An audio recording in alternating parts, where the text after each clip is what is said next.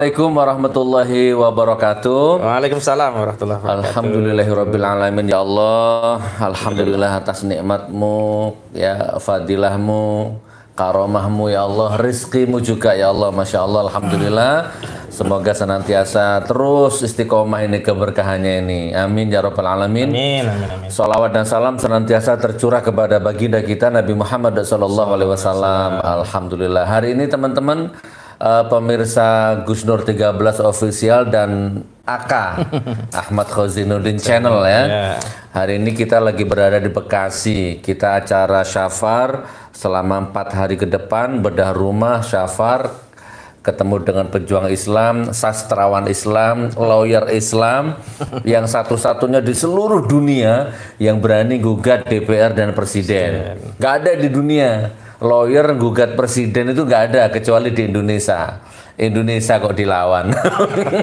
Terus kemarin saya sempat lihat di YouTube beliau sama Bang Egi marah gara-gara apa sempat tegang sama hakimnya itu keren itu. Oke langsung kita sapa. Assalamualaikum warahmatullahi wabarakatuh Mas Ahmad. Waalaikumsalam warahmatullahi wabarakatuh. Ini sama apa aku Jose? Ya, kolab lah. Mas Boleh, ya. kolab besar aja. Ya, ganti-gantian. Kemarin gimana? Saya lihat sekilas itu hakimnya itu kasus jeneng eh kok kasus jenengan itu nuntut DPR sama presiden, Presiden, ya, iya. bukan Jokowi ya. Presiden ya maksudnya ya. Iya, Presiden Jokowi. Oh. Oke, terus saya dengar selentingan sampai ganti jaksa, eh, ganti hakim tiga kali apa dua kali itu kenapa Mas Ahmad? Itu saya yang tidak tahu sampai hari ini kita di TPUA itu tidak tahu, Gus. Ah. Karena di perkara 266 itu kan kita gugat Presiden Jokowi. Hmm. Tuntutannya agar mundur. Kenapa? Karena banyak kebohongan. Kenapa? Karena kebohongan itu tercela. Hmm. Nah, kenapa? Karena tercela di pasal 7A itu termasuk sebab bisa diberhentikan. Hmm. Daripada diberhentikan ya minta mundur karena Oke. dia melakukan perbuatan melawan hukum. Di tengah perjalanan tanggal 11 no- eh, Oktober itu diganti majelis hakimnya. Tiga-tiganya loh Gus. Ganti semua. Alasannya mutasi, saya tidak tahu. Nah kemarin itu hakim penggantinya memutus. Hmm. Memang sudah waktunya putus atau memang belum tapi diputus gitu gimana? Ya memang sudah waktunya dari sisi eksepsi kan kalau dalam gugatan itu ada eksepsi, ada pokok perkara. Eksepsi itu biasanya lawan meminta hakim untuk tidak melanjutkan persidangan Ikut karena ya. ya karena dianggap tidak punya kewenangan. Hmm. Di DPR begitu kita, di eksepsi ya dikalahkan. Oh. Nah karena di presiden di kita khawatir dikalahkan lagi, Bang Egy intercept kemarin. Oke. Ini sebenarnya kita mau kalah atau menang. Kalau memang mau kalah ya sudah katakan saja kalah, dikalahkan, nggak usah kita nunggu-nunggu lama. Begitu. Terus emosi ya Ya, ya. hakim emosi terus terakhir Bang Egy katakan, "Eh, hati-hati bahaya azab Allah tuh. Silahkan gebrak meja. Itu yang membuat kita semuanya marah. Berani sekali hakim itu. Pertama dia berani marah itu sudah keliru hakim kok marah-marah. Kedua gebrak meja. Gus, di pengadilan itu hakim punya apa? Palu loh, Gus. Hmm. Palu itu fungsinya memimpin persidangan itu pakai palu. Hmm. Membuka sidang pakai palu, Oke. menskor sidang pakai palu, Oke. memutus perkara pakai palu, menertibkan peserta persidangan tok tok tok pakai palu. Saudara-saudara tolong, tolong tolong ya, jangan rame ya. Nah, Oh. lah ini kok gebrak pakai Pakai tangan. tangan ya. Nah, ini Akbar. sudah melanggar kode etik dan kita kita pertimbangkan dua hal, Gus. Hmm. Tadi saya diskusi dengan tim TPUA, ada dua hal yang kita pertimbangkan. Yang pertama pelanggaran kode etik hakimnya kita mau bawa ke komisi yudisial. Hmm. Kedua dugaan pelanggaran pidananya. Karena kalau pelanggaran pidana itu tidak bisa eh, dilindungi dengan imunitas sebagai hakim. Karena tidak ada perintah dari undang-undang hakim mengadili perkara sambil melecehkan Allah Subhanahu wa taala. Ketika dia menyatakan silahkan padahal sudah diingatkan hati-hati azab Allah Subhanahu wa taala, silahkan sambil menggebrak meja. Gebrak meja. Ini berarti melecehkan Allah Subhanahu wa taala. Ini penodaan agama. Videonya ada kan? Ada lengkap udah viral di mana-mana. Iya, nanti tak tampilkan ya. tak Ya seleksi. boleh ya nanti ya. Kalau menurut saya berarti anu itu Mas, memang sudah dari kolbu, dari sononya, eh apa mata rantai jiwa dia dengan langit itu memang nggak sinkron berarti.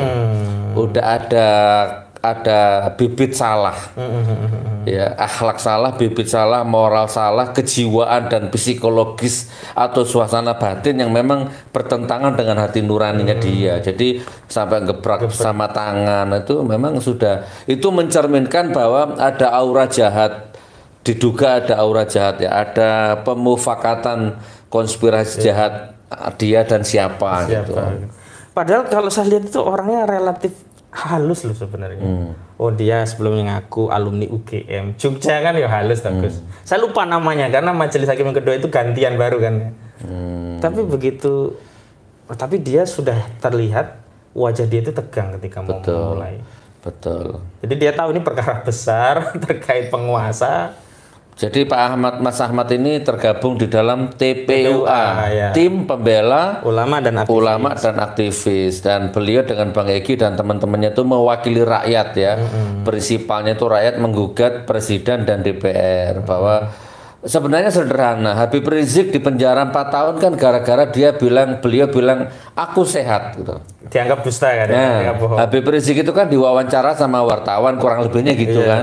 Gimana kondisinya Beb? Alhamdulillah aku sehat. Iya. Itu di mata rezim salah dan itu empat tahun penjaranya vonisnya. Nah sekarang bagaimana dengan Presiden Jokowi ya dengan politikus-politikus lainnya kira-kira apa nggak pernah bohong yang lebih sadis dari Habib Rizik bohongnya gitu kan Iya, kurang lebih seperti itu gitu ya Mas Ahmad ya Iya dan aduh maaf maaf Gus maaf maaf. Dan kita itu sebenarnya tidak minta presiden di penjara, enggak lah. Hmm. Karena bagaimanapun kan presiden itu kepala negara sekaligus kepala pemerintahan, wirang juga lah. Hmm. Lihat presiden sendiri di penjara, cukup mundur. Konstruksinya kan dia melakukan perbuatan melawan hukum. Hmm. Apa? Bohong. Kategorinya apa? Tercela. Nah tercelanya ini kita sudah minta nih fatwa ke MUI. Saya mau tanya ke MUI, apakah bohong itu sunnah, wajib, makruh atau haram? dan nggak sekali bohongnya Mas. Lah, yang perdata 60 dan terakhir itu kan dia bohong terkait kereta cepat, Gus. Di Perpres nomor 107 2015 itu Perpres menyatakan tidak pakai APBN. APBN ternyata make Di Perpres 93 nah, 2021 direvisi sekarang pakai APBN. Dari 6 miliar US dollar naik 8 miliar US dollar. 2 miliar US dollar, Gus, itu uang kita itu yang dipakai. iya saya kalau jadi inget data-data lama mas kalau gini ini kan Oh iya, iya. data-data lama tujuh tahun yang lalu kan nggak rangkap jabatan Iya, ya rangkap rangkap jabatan, jabatan. di mana-mana saya nggak mikir copras nggak mikir Capres, capres, copras capres. Minta tiga periode. Iya. ya wes ya. Jadi gini loh saudaraku. Kalau ada rakyat yang berpikir kritis dan cerdas seperti ini jangan lantas dianggap musuh negara, teroris, radikal, jangan. Ini juga bukan tanpa resiko ngomong gini nih. Beliau sudah nginep semalam juga di baris krim. Semalam, aku 10 bulan. Bukan tanpa resiko dan apa? Eh, kalau anda mau kita diem ya sebenarnya lebih enak ya ngapain ngurusin Tapi saya kok merasa tetap tidak enak Gus diam itu. Hmm. Itu yang membuat saya itu harus bicara, harus menulis, harus diskusi. Kenapa? Ya sikap batin kita itu ya Betul. tidak tega ngelihat kondisi kahanan. Iya. Orang-orang itu diam karena dia tidak bisa melakukan apa pun. Kalau kita tahu bisa ngomong kok nggak melakukan apa pun kan gelisah kita Gus. Iya, ya. Apalagi ada perintah syar'i dakwah. Hmm. Kan jelas wal taqum minkum ummatu yad'una ilal khair wa ya'muruna bil ma'ruf wa yanhauna 'anil munkar wa ulaika humul muflihun. Dan hendaklah ada segolongan umat di antara kita ini umat Islam yang ya'muruna bil ma'ruf, menyeru kepada al ma'ruf. Al ma'ruf itu hiya Islam. Hmm. Wa tanhauna 'anil munkar wa ulaika. Dan orang yang beruntung itu adalah orang yang beriman amar ma'ruf nahi munkar. Itu baru disebut orang yang muflihun, beruntung, menang. gitu ya Tapi kalau kita melihat kemungkaran diam ya keok itu pecundang bukan menang itu. Dan ini juga kan untuk anak cucumu juga, ya kan? Ya paling paling tidak untuk anak cucumu atau paling tidak untuk mengimbangi eh, eksekusi alam yang tidak diinginkan. oh, Saya ingat ya, Oh, masih saya ingat ada teori Ahmad jenengan. Hmm. Hukum audit alam. Nah itu gimana itu? Bisa nggak akhirnya ini audit alam? Karena audit hukum udah nggak mampu ini. sangat sangat sangat bisa. Kan banyak sudah. Iya. saudara terdakwa terbukti bersalah melanggar hukum ini ini pasal ini saudara dihukum mati. Tok tok tok. Ternyata besok hakimnya mati Yang mati duluan. ya. kan itu kan eksekusi alam. Iya, setruk macam-macam. Dan saya punya iman begini Mas Ahmad kalau KPK itu mengaudit BPK, audit kan data, Nah, data lah ya. Tapi kalau audit alam ini lebih sensornya itu satu juta lebih canggih, ketajamannya bukan hanya wajahmu yang bisa diaudit, bahkan detak jantungmu, ya kan, bahkan ritme irama hatimu itu diaudit itu sama alam, kebaca gitu loh, saking tajamnya sensornya gitu. Semar kemarin hakim gebrak meja misalkan sama tangannya itu kan itu alam men- langsung merekam itu mengaudit itu. Iya, iya, apa yang melatar belakangi jiwa apa yang melatar belakangi dia menggebrak itu. Itu kena semua. Itu audit alam itu seperti itu mas. Lebih tajam lebih canggih ya sensornya itu lebih peka lebih detail. Iya. dan eksekusinya juga lebih adil gitu. Insya Allah lebih seimbang Iya. Saya sebenarnya khawatir kalau eksekusi itu terjadi. Hmm. Misalkan terjadi musibah apa, itu kan banyak terjadi. Karena Iya. begini ya, kita itu kan pengennya memperbaiki kan. Hmm. Tapi kalau orang yang diperbaiki tidak mau dan ada audit alam tadi, ya kita udah gugur kewajiban aja. Betul, betul. Kan di apa itu saya lupa Al-Anfal ya ayat 25 atau 30 dicek itu. Bismillahirrahmanirrahim wattaqu fitnatal la tusiban alladzina dzalamu minkum khassah. Nah, Semuanya tuh ya. Iya, jadi kata kata Allah jaga dirimu atau dari dari azab Allah ya. Yang itu akan menimpa eh, tidak hanya kamu, tidak hanya menimpa orang-orang dolim di sekitarmu maksudnya. Kamu yang tidak ikut dolim itu akan kena gitu. Dan ada analogi yang lebih rinci itu di hadis itu diibaratkan kapal, Gus. Kalau ada orang di atas, di bawah, yang di bawah ngambil air ke atas, terus kepikiran ngapain ke atas kan di bawah ini air, membolongi kapal, ngelubangi kapal. Ya sudah lubang. Yang atas diam saja. Alah bukan urusan kita yang di atas. Dan tenggelam kapal itu. Ya semua bukan hanya yang bolongi kapal tadi. Ya akhirnya ya kalau memang itu terjadi Mas Ahmad ya sudah kita kembali ke rumus semula bentuk mati boleh sama cara mati boleh sama sama-sama dihantam tsunami misalkan sama-sama dihantam banjir. Bahkan mungkin jasad kita boleh ditemukan sedang bersanding dengan kaum kaum munafik nggak masalah. Bentuk mati boleh sama tetapi insya Allah di depan Allah derajat kita nggak sama gitu Mas Ahmad. Oh ini Ahmad Ghazinuddin, oh ini Abu Janda, oh jejer. Cocok ngambil. Jangan sampai. di hadapan Allah itu kan, Amit-amit jabang bayi. Nggih, maksudnya di hadapan Allah kan belum tentu Iya, sama. iya. gitu Naudzubillah ya. Naudzubillah min. Ya wes. Oke Mas, kita mau bahas apa ini? Eh, Ini soal PCR yang di tengah pandemi, Gus. Bisnis ya. Semestinya kan ada empati dari penguasa ikut prihatin. Hmm. Bahkan harusnya berbela-sungkawa karena kan sudah 4 juta lebih infeksi Covid. Hmm. Yang meninggal di atas 140 bahkan hampir 150 ribu. Hmm. Kok kita dengar kabar ada menteri, bahkan menteri koordinator Hmm. dan menteri BUMN mainan bisnis PCR, Gus. PCR. Hmm. Gede itu. Terus dia ngomong, aku nggak ngambil untung seperak pun kira-kira begitu. Percaya nggak jenengan, Gus? Demi Allah nggak percaya Mas. Oh. Wallahi nggak percaya.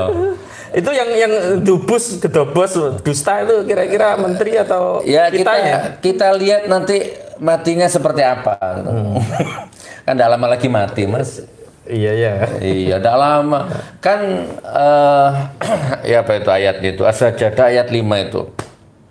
Seribu tahun di dunia, durasinya, perbedaannya, selisihnya dengan di akhirat itu satu hari banding seribu tahun. Iya. Jadi kalau Mas Ahmad di dunia umur seribu tahun, itu di hadapan Allah cuma satu hari, Mas. Masya Allah. 24 jam. Gitu. As-Sajdah ayat 5. Kalau berarti kalau Mas Ahmad ini 1000 tahun itu di hadapan Allah cuma 24 jam. Hmm. Kalau Mas Ahmad di dunia hidupnya 500 tahun di hadapan Allah eh, 12 jam. Gitu Mas. Kalau Mas Ahmad hidup di dunia ini sekitar 250 tahun, berarti di hadapan Allah piro? Rolas dibagi dua, berarti 6 jam Mhm. gitu. Kalau Rasulullah itu 63 tahun itu di hadapan Allah cuma satu jam setengah, gitu kan. Nah jadi yang gedabrus, yang carpak, yang ngolpok, yang tukang bohong tadi itu kita lihat umurnya tuh sekarang berapa. Itu di hadapan Allah hanya hitungan detik kok mas. Iya, iya, iya, iya. Kalau kita bersandar ke sajadah tadi, as sajadah tadi, hanya hitungan detik, sepersekon detik bahkan. Tuh, kalau menurut kita, oh oke paling lima tahun lagi mati. Eh, berarti lima tahun itu di hadapan Allah hanya berapa? Ya kalau lima tahun, kalau besok. Iya. Aku ngeri mas bayang no mati nih wong wong iku ya. Kalau menurut Gus Dur gimana? Jiwa empatinya pejabat. Terus atasan pejabat sampai hari ini nggak ngomong apa pun loh Gus. Padahal banyak yang nuntut agar dicopot. Jadi gitu. kalau kita kembali ke awal-awal dulu ya mas ya, tujuh tahun yang lalu kan jejak digital kita kan masih ada di Masih, YouTube masih. itu kan. Itu semua sudah dari situ kita sudah tuntas itu, kupas tuntas bahwa eh, kejahatan ini memang bukan satu orang, jadi sudah sistematis, saling mengikat gitu mas. Kalau kalau kita sederhanakan begini, Pak Harto dilengsarkan gara-gara KKN. Udah kita sederhanakan aja. Di samping itu kelebihan dan kekurangan manusia pasti ada. Tapi intinya 32 tahun memimpin dilengsarkan hanya gara-gara KKN. KKN itu apa? Kolusi, korupsi nepotisme. korupsi, nepotis ya. Korupsi itu sudah jelas. Terus kolusi itu apa? Kong kali kong dia. Iya. Kolusi ya. Terus kalau nepotis, Yang ngambil-ngambil saudara-saudara. Oh, morotua, menantu, mertua, ipar, sepupu ya. Oke, sampai Pak Harto lengser ya. Nah, sekarang silakan saya mau bertanya sama Mas Samad dan sama kalian semua, termasuk buzzer-buzzer jawaban pertanyaanku ini. Ayo sama Quran yuk. Bila perlu siapa pun boleh jawab pertanyaan ini. Pak Harto lengser gara-gara KKN. Saya tanya tolong dijawab. Mas Ahmad semua yang ada di sini jawaban. Kalau jawabanmu dibuat-buat kamu diazab sama Allah. Sekarang kira-kira ada nggak KKN-nya? Eh, Mas Ahmad sama sih. Pak, Pak Harto dilengsarkan gara-gara KKN. Pertanyaannya sekarang ada nggak KKN-nya? Kalau sama nanya ke saya, demi Allah lebih parah dari Pak Harto. Kalau sama nanya ke saya. Iya, iya, iya. Jadi ma- kita lihat nanti gimana lah. Lebih parah mas. Morot, mertua, menantu ada, sepupu ipar ada, Anak mantu. anak iya. mantu ada, Besan. besan ada. Lebih parah. Iya, iya, iya, iya. Kan Pak Harto sak sak sak bejat-bejatnya kan oh ini ini anu oh ini ini ini rakyat miskin oh, darah rakyat nggak tego. Masih ada gitu Iya, ya iya, mas. iya, iya, benar, benar. iki letak letak sedot darahnya mati rakyat itu S- masih ada gitunya. Saya tak subsidi silang ah. Tak korupsi no yang lain dulu ah gitu. Korupsi. Ka- sekarang kan enggak mas. Udah nggak ada darah nanah dicucup udah nggak ada nanah keringet pun dihisap. Nggak punya keringet itu air mata pun disedot udah tinggal tulang nih tulang kita pun masih dikerakoti ya mas. Ya apa coba? Eh, bayang no iki ya Allah. Ya apa mas? Anak istrinya gimana ya mas ya? Kita itu tidak bisa mengukur orang dengan sikap batin kita. Karena psikologi orang beda dengan kita. Maka saya berulang kali ke kawan-kawan itu jangan berusaha berempati oh orang itu kira-kira kayak saya. Kita ini kan orang beriman maka ada welas asih rasa sabar anda pasor termasuk handar beni termasuk ngerti kondisi kahanan orang lain. Lalu kalau mereka tuh oh, ibaratnya kalau kita kan halal haram mana ya? Kalau mereka hantam semua nggak peduli. Iya. dan dugaan kuat saya, empati rasa yang kita miliki itu tidak ada di mereka dicabut. betul betul betul. Jadi si raja tega gitu loh. Dan ayat serta ya kita kan orang Islam, kita kembali ke syariat Mas ya. Orang kalau kebanyakan makan uang haram, subhat lah, apalagi sampai ke haram, kan bisa mati hati itu Mas ya. Keras, berkarat, mati itu. Jadi udah nggak ada tega itu udah nggak ada Mas. Empati simpati nggak punya udah ya. Kasihan ya. Makanya kalau ada orang itu pura-pura empati, sudah pasti itu memang sandiwara. Sandiwara. Di, jadi saya juga heran, Gus. Sampai hari ini kan itu 140 ribu lebih ya. Kok nggak ada rasa prihatin sebagai bangsa? Kita baru saja kena pandemi. Menurut catatan ada 140 lebih. Semestinya kalau saya kepala negara, negara ya, saya akan pidato begini. Saya sebagai pemimpin kepala negara dari negeri ini, pertama kali tentu terlepas dengan apa yang kami ikhtiarkan untuk menanggulangi, saya tetap menyatakan prihatin dan ikut berbela sungkawa. Mudah-mudahan keluarga yang ditinggalkan diberi kesabaran dan mudah-mudahan kematian ini sebagaimana keyakinan akidah Islam sahid. Karena sahid kan ada yang sahid dunia dan sahid akhirat. Ini termasuk sahid akhirat lah mereka yang mati karena pandemi. Tapi narasinya enggak malah kemarin ke mana-mana sombong lu berhasil menanggulangi pandemi. Kalau kalau menurut saya kan boleh ngomong ya ini kan negara demokrasi ya. Ini bukan berarti terus makar ya. kalau menurut saya negara kita ini tidak ada kepala negaranya, Mas. Yang ada apanya nih? Ya tidak tahu ada tak pemimpin ulil, ulil amrinya ada tak. Kalau anda tanya ke saya sih nggak ada. Kalau ada ulil amrinya kan nggak begini. Lah itu ada tuh yang biasanya pakai baju putih. Kan dia kan hanya robot mungkin kan ada remote-nya gitu loh mas. Oh dia aja jangankan mikir negara, mikir dirinya sendiri aja dia juga nggak sadar kok. Dia tuh sadarnya itu kalau bangun kalau udah nggak ada orang sudah di sendirian di di rumahnya baru dia sadar. Oh iya ya, aku ki Gus Nur ya. Tapi kalau sudah di luar itu dia nggak sadar kalau dia Gus Nur tuh nggak sadar gitu mas. Ngono ibaratnya mas. ya. Misalkan misalkan sopo lah, misalkan Mas Ahmad ya, ini presiden Indonesia itu Ahmad. Ahmad itu kan hanya fisiknya, tapi kan hakikatnya bukan gitu loh. Oh Ahmad itu sendiri aja nggak sadar kalau dia Ahmad gitu loh. Ngono loh, paham nggak mas? Itu bahasa sastra jeru ini mas. Jadi ki- kita ini nggak punya pemimpin gitu, nggak punya nggak punya Sekarang Gus saya mau tanya ukuran ada pemimpin apa sih kalau menurut Gus? Kalau saya sederhana, kalau saya mau sambat itu ada tempat sambat itu ukuran saya. Kalau Gus Nur kira-kira apa? Ya nggak bisa dijawab dengan singkat, sedikit nggak harus banyak. iya, iya. Makmur, adem ayem, rukun ya.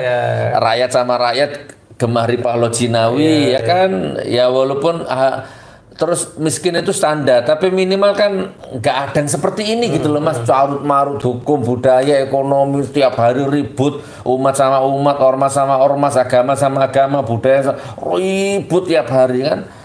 Terus di sisi lain ada orang yang Seperti memang nggak ada pemimpin kalau gitu tidak ya? ada memang berantem terus gitu kan. Ya Allahu Akbar. Iya kak ono Mas Ahmad memang dia sendiri juga nggak paham kalau dia pemimpin. Karena memang dari rambut sampai ke kakinya itu bukan dia mas. Hmm. Ada orang lain yang mengendalikan makanya nggak bisa. Kalau lengser satu lengser semua kok ya. Iya. Memang kemudian ada istilah yang hari ini kan ramai dibincangkan masyarakat. Nah, Ini oligarki. Oligarki itu kumpulan para pemodal, militer, pengusaha yang kuat yang sebenarnya mereka ini yang mengendali- mengendalikan pemerintahan. Hmm. Maka sebenarnya dalam sistem demokrasi itu yang dilayani bukan rakyat lagi, tapi oligarki ini. Nah, ini yang sulit memang kita harus pikirkan bagaimana memutus rantai oligarki ini, Gus. Nggak ya kalau jenengan nanya ke saya udah nggak ada konsep rumus eh, apa Audit alam ada lagi. Iya, formula yang bisa ngobat ini nggak ada kecuali alam gitu, Allah gitu mas. Iya, iya, iya. Kemarin saya dikirimi dua video mas, saya nggak tahu itu sebenarnya video lama mungkin, tapi ya kalau dikompilasikan relevan. Hmm. Ada beberapa brimob bersihkan kelenteng, Oh iya iya ya itu kan WA itu ya. bersih bersih kelenteng gitu di sisi lain ada brimob yang sak sepatu sepatunya masuk masjid, Masjid, gitu kan ngunjak ngunjak masjid sama sepatunya Hmm. kan ini sudah nilai peradaban yang sudah nggak ada nilainya gitu loh mas mau nggak marah bagaimana alam dan Allah ini gitu loh mas kan ada videonya itu mas. Hmm, ada. Oke jadi bisnis VCR ya. Ya, mereka mengambil untung di tengah rakyat susah di tengah pandemi. Dan gede itu bisnis itu, Gus. dan dan pandeminya sendiri jangan-jangan juga buatan juga. Kan repot mas. Gimana mas Saya sih begini, Gus. Kalau pandemi ada ya kita percaya. lah. Karena Percaya. buktinya orang-orang dekat kita juga ada yang dikorban. betul Cuman penanggulangan pandeminya ini yang saya oke tidak percaya. Oke. Karena ada satu sisi menggunakan pertimbangan medis, iya kondisi medisnya itu ada. Hmm. Tapi di sisi lain eh, apa pertimbangan medis itu dimanfaatkan untuk Oke. bisnis Nah itu yang saya jengkel di situ. Oke, gitu. COVID-nya ada, tetapi kons- ini. konspirasinya, Iya. bisnisnya, politiknya, ya itu kan? yang lebih banyak yang lebih ah, banyak daripada COVID itu sendiri. Iya. Sebenarnya kalau COVID itu dikelola dengan baik, amanah ya, sesuai jalan yang lurus, mungkin yang mati 10 umpama, Ya, umpama ya. gitu, ya. Cuman karena dibikin seperti ini akhirnya mati 1000, mungkin gitu ya. Mungkin analisanya Iya, karena kalau seribu kan tes PCR-nya lebih banyak lebih nanti. banyak, dagangannya lebih laris, lebih banyak, untungnya lebih banyak. Iya. Ya apa mati ini gue mas? Ya, tidak tahu saya karena saya tidak bisa merasakan eh, sikap batin orang yang seperti itu. Bisa. Sekali lagi, Gus, kita tidak bisa mengasumsikan orang yang seperti itu seperti kita yang ada rasa welas asih, nggak tegel kan? Kalau kita kan nggak tegel, Gus. Kadang ada orang beli saja kalau kita posisi jualan itu kasarlah nggak laku, tapi dia kelapar. Ada kita kasih juga kan nggak tegel. Tapi orang kayak gini enggak. Makanya saya nggak bisa men- mendeskripsikan mereka itu seperti apa. Kalau di Al-Quran itu kan ada istilahnya. Kal an'am balhum adol itu kan. Baik dari sisi syariat dia nggak mau, kebenaran nggak mau, termasuk sikap dia geragasnya itu ya Lebih lebih, geragas daripada Binatang. binatang, ternak. Tapi gini mas, oke mengerucut ya. Jadi sekedar ini sekedar analisa, apa sekedar wacana. Silakan barangkali ada yang nonton, is- resap-resap ono dewi lah ya. Iya. Setahu saya kalau terlalu banyak makan uang haram, apalagi haramnya itu di atas penderitaan rakyat. Rakyat. Mas. Ya. Ya haramnya itu ada hak orang miskin yang diambil gitu ya. Terus dikasihkan anaknya, dika- dikasihkan istrinya gitu kan. Itu ya coba lihat siapa yang merasakan rumah tangganya sudah dicabut berkahnya. Anaknya pinter, bibit bobotnya keren mas. Tapi karena uang haram yang masuk, sehingga anaknya narkoba, anaknya mati telanjang, mati kecelakaan. Pokoknya matinya hina lah. Disuruh ngaji nggak bisa, sholat nggak bisa. Karena memang sulit nerima hidayah. Hidayah. Nur itu sulit, itu anaknya ya. Terus ada lagi jangan-jangan istrinya yang selingkuh sama supirnya misalkan kan. Salah satu tanda-tanda ya. Kita nggak sebut namanya tapi siapa tahu nonton gitu kan. Nah, coba suami gagah, pejabat, bahkan mungkin sekelas menteri, duitnya miliaran. Tapi istrinya tidur sama supirnya, misalkan ya, sampai serendah itu gitu kan nilai. Karena memang yang dikasihkan tuh ke istrinya itu uang haram terus. Ada darah air mata keringat rakyat dijejalkan ke istrinya. Sehingga sakinah mawadah warohmah di dalam jiwa istrinya udah nggak ada Hilang, bersama hilang. dicabut ya. dicabut. Kelemahan kelembutan kesetiaan ketulusan kehangatan itu udah nilai-nilai fitrah seorang wanita dicabut. Sehingga bisa bisanya dia tidur sama supirnya. Karena apa artinya jabatan setinggi langit kalau istri tidur sama supir walaupun mungkin TV nggak ngeliput Kalau istri ditiduri atasan masih mending lah ya, tertarik sama atasan lebih gede, lebih Nah. gagah. Sama supir ya. tidak tidak menutup kemungkinan itu yang dua ya. Atau mungkin sekarang jangan-jangan jamnya mahal, safarinya keren, ya mobil dinasnya mewah tapi impoten mas. Waduh ngeri Ya juga kan itu. udah lima bulan setahun nggak nggak bisa kumpul sama istrinya, nggak bisa ngasih nafkah batin sama istrinya. Cuman bisa batin ya. Eh, kan karena dicabut keberkahannya tadi ada ini ayo pasti ada yang yang nguntal-nguntal duit rakyat itu maka rakyat tenang aja gitu rakyat ini harus Seteko terima yang pandum pasti ada audit alam tadi ya. Nah, di TV gagah ngomong oh pejabat toh ya kan turun dibukain pintu sama orang pintu mobilnya sudah ada yang bukain. Tapi impoten mas. Lemah sahwat ayo. Udah gitu pasti larinya ke dukun mas menyembuhkan. Dan orang seperti itu tambah tambah bingung. Mau berobat malu, Malu. aib. Ya kan harus dokter pribadi. Ya banyak seperti itu. Apa artinya? Nah yang lebih yang lebih memprihatinkan lagi mereka nggak sadar kalau itu azab.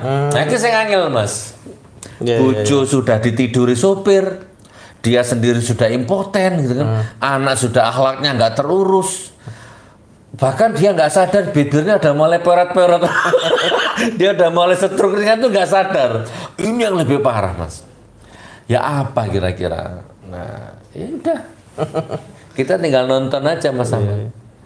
Gitu loh. Sebenarnya kan kalau kita kembalikan ke konsep dakwahan, di antara bentuk kasih sayangnya Rasulullah kepada umat ini kan mereka Rasulullah kan berdakwah. Nah, Sini, sini, Mas. Sini, Ini judulnya karena ngopi judulnya bareng. ngopi bareng Gus Nur. Dinteni kopi Kopinya ini. belum datang. Nanti tadi dialog formalis. Kalau sekarang dialog substantif. Karena benar-benar ada kopinya. Enggak. Saya duluan ya, Gus, ya? Enggak, enggak, fadal, fadal.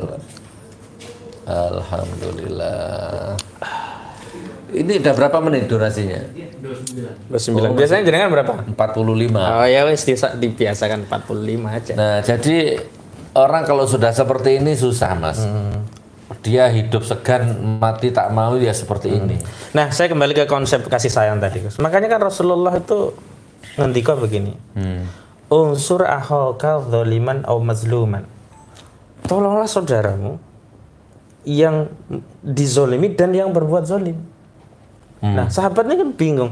Kalau ya Rasulullah, kalau kami diminta menolong orang yang dizalimi, kami paham. Paham. Tapi bagaimana kami menolong orang yang berbuat zolim? Kata Rasulullah ya, cegah dia dari kezoliman. nah sebenarnya kita podcast diskusi ini sebenarnya bukan kebencian. Nanti jangan dianggap di pasal 28 ayat 2 junto 45 ayat A ayat 2 Undang-Undang Nomor 19 tahun 2016 tentang menyebar kebencian dan permusuhan berdasarkan suku, agama, ras dan antar golongan ancaman 6 tahun pidana. Bukan. Itu pun juga pasal kan baru di rezim ini Lah iya, sebelumnya nggak pernah Nggak ada dimainin. pasal itu. Itu kan untuk transaksi elektronik kan dulunya. Sebenarnya begitu. Makanya zaman SBY undang-undang itu sudah ada, nggak pernah ada yang ditangkap zaman SBY. Hmm. Nah di zaman sekarang saja itu diaktifasi dikit-dikit sara, dikit-dikit eh, pasal itu. Nah maksud saya saya gini. Jadi kita itu sebenarnya ya tidak berharap lah kepada mereka karena kan kita cari ridho Allah ya. Tapi dipahami bahwa kalau ndak ada orang yang mengingatkan ngelik ke orang-orang zolim, ini berarti nggak ada yang sayang. Jadi sebenarnya dakwah itu adalah wujud kasih sayang Rasulullah kepada umat. Coba kalau kanjeng Nabi dapat wahyu untuk dirinya sendiri kan selesai sebenarnya. Tapi diperintahkan untuk disampaikan dan kita pun umatnya diperintahkan ketika tahu balighu anni walau ayat. Sampaikan walaupun satu ayat. Nah, itu yang sering saya ulang-ulang agar orang-orang di pemerintahan itu tidak punya tendensi negatif terhadap kritik yang diajukan oleh masyarakat. Dan kita itu kritik basisnya bukan hanya ini karena kebebasan berekspresi yang dijamin undang-undang, bukan lebih jauh dari itu ini perintah akidah. Hmm. Motivasinya bukan hanya mengingatkan kekuasaan, motivasinya cari ridha Allah. Maka di titik itulah orang-orang yang mengkritik rezim karena cari ridha Allah itu tidak pernah bisa dibayar. Beda kalau ngeritik dalam rangka proposal, ngeritik Gus. Tapi sebenarnya biar dapat komisaris. Makanya ada istilah Bismillahirrahmanirrahim komisaris. Nah, itu kan ngeritik dalam rangka dapat posisi. Nah, jadi saya kira itu yang membedakan kita dengan kelompok-kelompok pengkritik. Makanya saya heran, ada orang tuh selama ini adem ayem gitu karena dekat Hmm. sama kekuasaan gitu, adem. Tapi sesekali dia menyala gitu. Itu proposal. gong gong gong. Terus itu apa balungnya wis entek. oh belum cair ya. Bukan, udah dikasih, udah habis gonggong lagi. Gonggong lagi. Cari tulang lagi gitu loh. Oh, ya Allah. Itu sinyal itu, eh tulangku udah habis nih, kirim lagi. Alhamdulillah ya kita berada di barisan yang di luar itu ya Mas Ahmad. Dan itu yang membuat lidah kita itu nggak keluh itu di situ, Mas. Hmm. Sebab kalau orang itu punya tendensi, setiap mau ngomong dia mikir nanti juragan saya marah nih. Nanti yang ini nggak boleh nih, nanti nggak boleh nih. Betul. Nah kalau kita kan merdiko, ngomong apa aja, Ah. apa urusannya? Saya nggak ada kemaslahatan dengan kalian, saya kritik-kritik aja. Saya nggak minta komisaris kepada kalian, nggak minta jadi staf ahli kalian. Kalian keliru ya saya ingatkan, kalian bener ya nggak saya puji karena tugas saya cuma mengkritik. Kalau bener saya puji itu saya buzzer. Hmm. Tugas kita hanya ngoreksi yang keliru, bukan memuji yang benar. Yang benar biarkan aja. Makanya pernah ada yang kritik saya, kok nggak ada benernya di mata saya rezim ini. Kan ada yang baik, Eh, yang baik ya diemin. Biarin, dia? udah tugas dia. Iya udah tugas dia, masa yang benar kemudian dipuji-puji. Iya buzzer itu bukan kritikus. Tadi hadis apa yang dibaca jenengan barusan tuh menolong orang yang dolim Unsur alka, yang mendolim ya. mazluman. Saya jadi ingat beberapa hari yang lalu kan Tapi dipelesetkan ada pilkada tahun 2016, unsur ahoka. Tolong Ahok, suruh pilih Ahok. itu dipelesetin begitu. Kurang ajar itu yang meleset-meleset hadis. makanya kemarin ada yang gini, Hmm. eh, Gus gimana supaya saya terlepas dari dunia riba? Oh. Jeratan riba Mas Ahmad. Ternyata saya baru nemukan formula yang lebih paten Mas. Apa itu? Ya buatlah dirimu di blacklist sama bank. Oh iya. Ah, di- dianggap potensial makan didatangi terus. ya? banggalah kamu kalau namamu jelek di bank. Tapi kan orang sekarang takut namanya hilang, namanya jelek di bank kan takut mas. dia nggak mikir namanya dia ada hadapan Allah jelek atau buruk, Nah, tapi dia kelirunya di situ. malah mikir, kalau namaku rusak di bank, bagaimana nasibku? ada itu mas. Oh, sampai segitunya ya. Iya, jadi lebih baik memang aku bangga di blacklist bank gitu kan. Udah selesai itu pintu pertama itu paten itu dan ini sudah mulai aku terapkan ke beberapa klien. Lumayan mas. Ya kalau kreditmu macet ya sudahlah. Di satu sisi ya itu pikirkan tapi di sisi lain bersyukurlah. Berarti kamu tuh udah jelek namamu di bank tuh udah bersyukur gitu. gitu ya itu Jadi nggak mungkin ngajuin kredit lagi ya. Iya. Lagian tidak ada bank baik itu. Bank itu di mana-mana ya ada maunya nih teman-teman. Oke. Apa mana Mas tadi itu? Nah, Nadim Gus. Nadiem Makarim. itu kan mengeluarkan peraturan menteri Hmm. eh, Pendidikan dan Kebudayaan Riset dan Teknologi nomor 30 tahun 2021. Alasannya sih untuk menghilangkan kekerasan seksual. Tapi pasal-pasalnya justru melegitimasi perzinahan. Karena menurut dia ya kekerasan seksual itu hanya terjadi kalau eh, tidak atas keinginan korban. Tapi kalau korban mau ya hilang unsur kekerasan seksual. Berarti kan sama saja membolehkan Nah, iya. itu. Nggak Nah ini kaget. sedang rame di Muhammadiyah dan yang lain-lain. kaget Mas. Maka kalau nggak Kalau gitu, menteri kayak gini gimana nih Gus? Kalau nggak gitu ya berarti bukan rezim Jokowi kalau gitu Mas. Ya lagi-lagi ke sana. Jadi ini kalau dibahas sampai subuh nggak selesai loh Mas. Mau dua hari dua malam non stop nggak selesai. Saya sudah ketemu beberapa guru, baik PNS, baik honorer, baik sukwan apa 99,9 persen tuh mereka nggak cocok sama sistem pendidikan yang sekarang itu. Mereka hanya ngempet, mereka hanya batin, mereka nggak bersuara.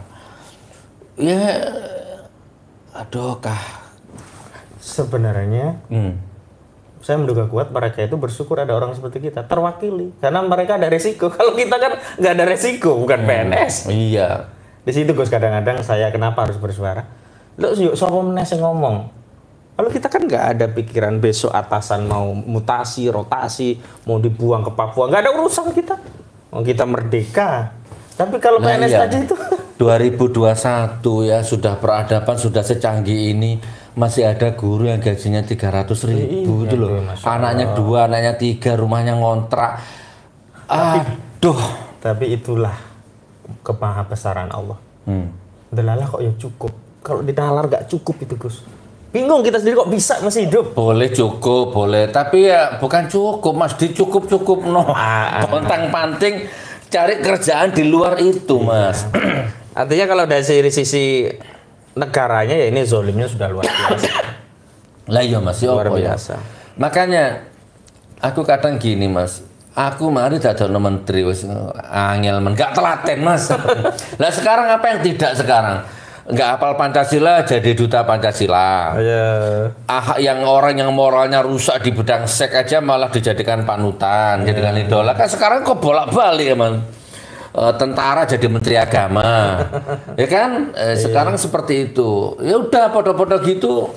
Kok nggak aku jadi menteri kan beres gitu mas? Iya iya. Apa? Jadi di tahun dusta ini saya Tapi ya nggak mungkin sih mas, aku jadi menteri sama jadi menteri nggak mungkin lah, nggak nyambung lah ya. Saya kalau udah begini tuh ingat hadis Rasulullah di riwayat Imam Turmudi. Eh, Kanjeng Nabi itu ngendika begini Gus. Sayati ala nasi sana'atun khadda'atun. Akan tiba satu zaman. Ya. Saddiquna fihal kadhib wa yukadzibuna fihal sadiq. Wa yu'tamanu fihal kha'in wa yukhawanu fihal amin. Wa yang tikukila ruwai bidep. Fama ruwai bidep? Nah. Orangnya banyak Iya, bicara. ya.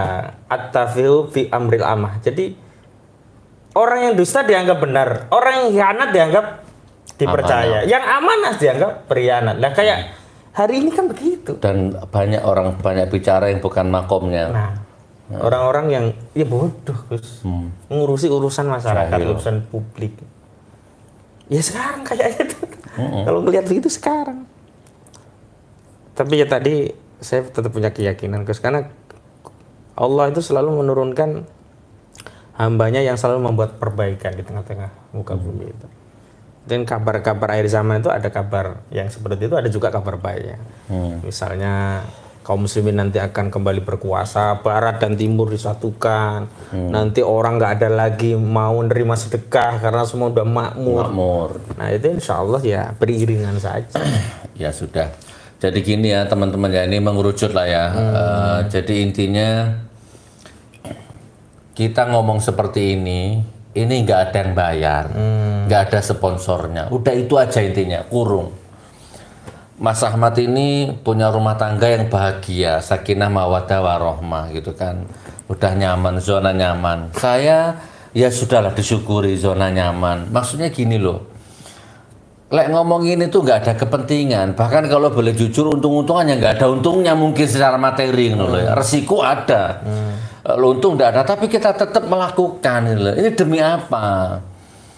Ya, ya demi keseimbangan. Kalau kita nggak ngomong nanti ya opo gitu kan. Ini juga demi kalian. Ya, ya demi kalian, bukan kalau bukan demi buzzer ya. Jadi maksudnya ini ini kita ngomong untuk buzzer ya, kita ngomong untuk buzzer ya. Iya, iya, iya.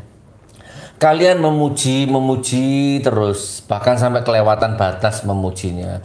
Karena kalau buzzer yang buzzer yang asli sih wajar, kamu dibayar. Bayar ya. Nah aku yang kasihan itu kamu itu ada yang rumahmu masih ngontrak ya kan dimakan aja susah tapi kamu memuji terus rezim yang bobrok seperti ini kamu puji terus. Padahal BPJS kamu nggak kuat bayar.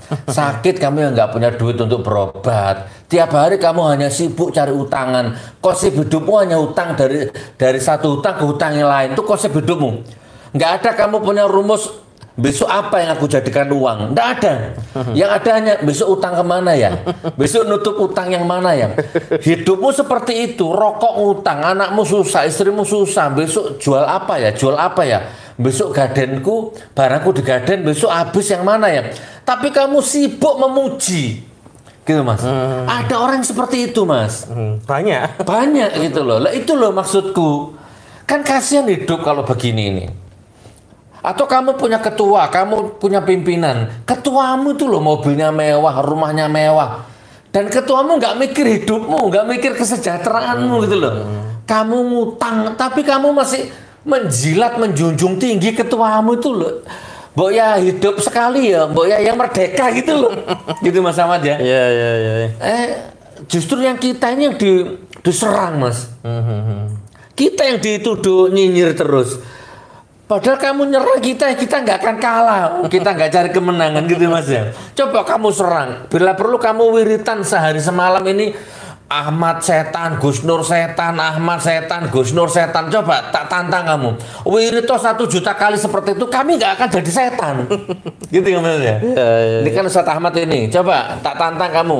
Ustadz Ahmad anjing, Gus Nur anjing, Ahmad anjing, Gus Nur anjing. Coba sehari semalam berlaku tujuh hari tujuh malam kamu baca wiritan seperti itu, kami nggak akan jadi anjing. Yang ada rezeki kami semakin tambah. lah sementara kamu itu malah kamu yang jadi anjing, boya sadar gitu loh. Hidup susah kok muji-muji rezim yang bobrok seperti ini. Yuk, sama tutup mas, kurang lebih seperti tadi tuh. Iya. Menurut kacamata jenengan gimana? Ya jelas begini Gus. Sebagai umatnya Nabi Muhammad SAW Oke, itu ada amanah dakwah ya. Kenapa kita mengkritisi rezim? Karena kalau ada kebaikan dari kekuasaan, maka kebaikan itu akan meliputi seluruh umat.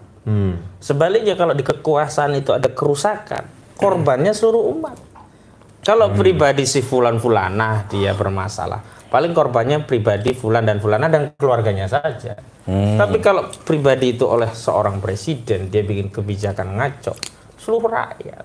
Makanya benar Rasulullah mengatakan bahwa Sayyidus Syuhada itu adalah Hamzah bin Abdul Muthalib dan seorang laki-laki yang menyuruh kebenaran di hadapan penguasa zalim dan dia meninggal. Kenapa? Karena resikonya lebih besar. Kalau jewer Gus Nur, jewer saya nggak ada resiko. Nggak ada resiko. Tapi jewer kekuasaan, sewaktu kekuasaan itu marah, dia gunakan alat-alat kekuasaan. Tapi sekali lagi, kami mengingatkan itu bukan membenci kekuasaan. Tadi, karena welas asih kita. Karena kita ingin bareng-bareng selamat. Lawang hidup ini cuman saat mau mampir ngombe. Tadi kalau kita bicara kalkulasi ayat Al-Quran, paling berapa detik, berapa menit ya, tidak ada jam-jaman kita. Hmm. Dan kita itu sedang investasi untuk kehidupan yang kekal, yakni di akhirat di mana. Di sana itulah kehidupan yang sesungguhnya. Hmm. Salah di sini selamanya menyesal. maka kita berusaha baik di sini. Dan kalau ada, misalkan ya kita berusaha memberikan aktivitas dakwah, kemudian ada upaya, tidak akan mengurangi pahala kita tidak akan mengurangi juga semangat kita. Hmm. Oh kita ini dipuji tidak akan mabur ya kan. Diledek-ledek juga tidak akan hancur. Oh kita itu biasa. Nah itu yang saya ingatkan kepada siapa pun yang tidak sependapat dengan dakwah itu eh, saya kira simpan energinya lah dari untuk nyinyir ya. capek betul. karena pasti nggak akan kita reken gitu. Betul, betul. Dan yang jelas kita itu sayang lah sama penguasa karena mereka hmm. juga muslim Hmm. Ingin mereka itu menjadi pemimpin yang adil yang akan menjadi salah satu golongan yang dijamin masuk surga. Caranya apa? Ya kita mengingatkan. Hmm. Dening wis no kok tapi tetap melakukan itu itulah pilihan yang telah diambil dan kita nanti di akhirat jadi saksi loh Gus kita. Hmm. Gus Dur, dulu kamu di dunia sudah mengkritik belum? Atau kamu malah diam atau kamu mendukung? Nah, Gus Nur kan tenang nanti. Sudah, sudah. bahkan 10 bulan. Iya, kalau sudah begitu kan oh ya wes lolos. Hmm. Tapi kalau belum, nah iso Gus enak wae sampean sibuk sholat, sibuk zakat, sibuk. Betul. Tapi lupa dengan keadaan kahanan mampir sih sampean Gus kira-kira begitu nah saya kira itu visi iya, iya, iya. visi yang kita lakukan dalam dialog-dialog okay. diskusi itu seperti itu itu Gus jadi yang terakhir ini ya penutup ya bahwa hmm. coba saya tanya Anda yang benci Ustadz Ahmad Anda yang nyinyir Ustadz Ahmad coba hitung sudah berapa bulan sudah berapa tahun Anda nyinyir ke Ustadz Ahmad baik di komen di channelnya atau di mana coba tanya sama hatimu berubah nggak? Enggak. Coba, ya tetap bahagia, tetap hidup normal, bahkan nggak punya beban. Nah sekarang pertanyaan dibalik, gimana hidupmu? Channelnya jelas, Ahmad Khozinuddin channel jelas, kredibilitasnya jelas di pengadilan lantang, ya berantem sama hakim berani bahkan ini maaf ya berantem sama penyidik pun berani saya pernah waktu didampingi beliau di penyidik di Polda itu berantem sama penyidiknya berantem hujah maksudnya berani. Tetap nah sekarang kamu channelmu apa? Channel nggak punya konten nggak punya. Modal email untuk nyinyir begitu diklik nggak ada kontennya. Bergabung di YouTube sudah dua tahun tiga tahun sepuluh tahun tapi subscribe cuma lima, lima ekor. Nyinyir sama beliau. Oke ya. Terus kamu nyinyir sama saya. Coba tak lihat itu mas ada lima tahun nyinyir sama saya. Gimana? Kontennya nggak jelas alamat nggak jelas tak klik diklik sama admin bergabung di YouTube sudah tujuh tahunnya lalu. Subscribe cuma tujuh ekor. Ya kan? Sementara aku tetap sehat. Gitu loh teman. Yang realistis gitu loh. Jadi kamu nggak akan untung apa-apa nyinyir sama kita itu. Kamu nggak akan untung apa-apa dan aku nggak akan jatuh hanya gara-gara nyinyirmu gitu loh. Bahkan kalau mau tak kasih rahasia nih buka-bukanya aku kadang berdoa ya Allah jadikan orang yang nyinyir ini kerasan di sini ya Allah. Kalau nggak ada dia aku butuh. Seandainya kamu cebong itu ikan kamu tak kasih makan loh biar kamu kerasan di nyinyir itu kan gimana? Yeah. Kamu nggak sadar. Kadang-kadang sih nakal pikiranku seperti yeah. itu. Oke okay, ya, jadi aku sama Mas Ahmad menyindir atau mengkritik itu bukan tanpa resiko dan tidak ada kepentingan. Resikonya ada, bayarannya nggak ada dan seterusnya. Jadi dan ini untuk kebaikan bangsa, negara dan agama dan umat. Intinya itu. Ya Mas Ahmad? Ya, sampun. Sampun dan terakhir. Okay. Mudah-mudahan kita doakan Gus Nur selamat, sehat selalu, amin, dilindungi amin, Allah, amin. dijauhkan dari marabaya amin, amin. dan menjadi walinya Allah. Allah. Di mana kalau Gus Nur bicara itu hakikatnya adalah pembicaraan dari Allah, berjalan itu yang berjalan Allah, hmm. sehingga tidak ada satupun makhluk baik manusia jin atau makhluk lainnya yang bisa memberikan mudorot kepada Gus Nur juga terhadap saya Amin amin amin. karena tidak ada perlindungan yang paling kokoh kecuali perlindungan dari Allah Subhanahu wa taala. Hasbunallah ni'mal maula wa ni'mal nakir. La haula wala quwata illa billahil aliyil azim. Gitu Gus, makasih. Ya pun sampai ketemu besok kita bedah rumah mas peresmian di. Bekasi ya. Alhamdulillah.